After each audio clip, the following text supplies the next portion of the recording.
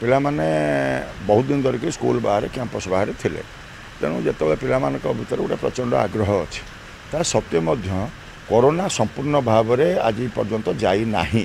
ତେଣୁ ଆମେ ଗୁରୁତ୍ୱ ନିଶ୍ଚିତ ଭାବରେ ଦେବୁ। ସ୍ୱାସ୍ଥ୍ୟ ବିଭାଗ ସହିତ ଆମର କୋର୍ଡ଼ିନେସନ୍ ହୋଇଛି ଏବଂ ସ୍ୱାସ୍ଥ୍ୟ ବିଭାଗର ଯିଏ ଡିଏମ୍ଟି ଆଜି ମଧ୍ୟ ସେ କହିଛନ୍ତି ଆଗରୁ ଆମେ ଶିକ୍ଷକମାନଙ୍କୁ ଟିକା ନେବା ସମ୍ପର୍କରେ ସ୍ୱତନ୍ତ୍ର ଭାବରେ ନିର୍ଦ୍ଦେଶ ଆମେ ଆଗ୍ରହ ପ୍ରକାଶ କରିଥିଲୁ ଏବଂ କେନ୍ଦ୍ର ସରକାର ମଧ୍ୟ କହିଲା ପରେ ସମସ୍ତ ଶିକ୍ଷକମାନେ ଟିକା ନେଇସାରିଛନ୍ତି ଆମେ ଦେଖିବୁ ନିଶ୍ଚିନ୍ତ ଭାବରେ କୌଣସି ଜଣେ ଶିକ୍ଷକ ବିନା ଟିକା ନ ନେଇକରି ଯେପରି ସ୍କୁଲକୁ ଘଟଣା ନଯାଏ ସେ କଥାଟି ନିଶ୍ଚିତ ଭାବରେ ଆଜି ଡିଓମାନଙ୍କୁ ଭାବରେ ଗୁରୁତ୍ୱ ଦିଆହେବ।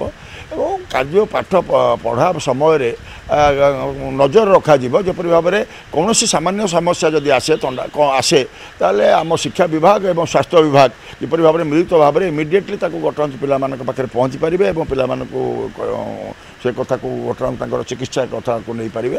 ତେଣୁ ଏ ସମସ୍ତ କଥାରେ ଶିକ୍ଷାଟା ପିଲାମାନଙ୍କର ଯେତିକି ନିଶ୍ଚିତ ଭାବରେ ଅତ୍ୟନ୍ତ ଗୁରୁତ୍ୱପୂର୍ଣ୍ଣ ପିଲାମାନେ ଅପେକ୍ଷା କରିଛନ୍ତି ସେହିପରି ଭାବରେ ସ୍ୱାସ୍ଥ୍ୟଟା ମଧ୍ୟ ସେତିକି ଗୁରୁତ୍ୱପୂର୍ଣ୍ଣ। ମାନ୍ୟବର ମୁଖ୍ୟମନ୍ତ୍ରୀଙ୍କର ସେଇଟା ହେଉଛି ସମସ୍ତଙ୍କଠାରୁ ଗୁରୁତ୍ୱପୂର୍ଣ୍ଣ ନିର୍ଦ୍ଦେଶ। ପାଠ ପଢ଼ା ତ ନିଶ୍ଚିନ୍ତ ହେବା ଦରକାର ଯେଉଁଥିପାଇଁ ସେ ପ୍ରକ୍ରିୟା ଆରମ୍ଭ ହେଲା। ସାଇମଲ୍ଟେନିୟସଲି ପିଲାମାନଙ୍କର ଏ ଶିକ୍ଷା ସମୟରେ ସ୍ୱାସ୍ଥ୍ୟ ପ୍ରତି ମଧ୍ୟ ସମ ପରିମାଣରେ ଗୁରୁତ୍ୱ ଯେପରି ରହିବ ସେଥିପାଇଁ ତାକୁ ଗୁରୁତ୍ୱ ଦିଆହେଇଛି